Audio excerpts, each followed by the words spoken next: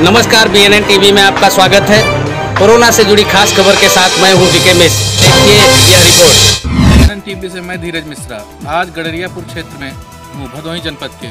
आज यहाँ पर देखा जा रहा है, भदोही पुलिस द्वारा पाली चौकी के, पाली चौकी इंचार्ज द्वारा ई चलान किया जा रहा है। लोगों को समझाया जा रहा है कि घरों से ना निकलें।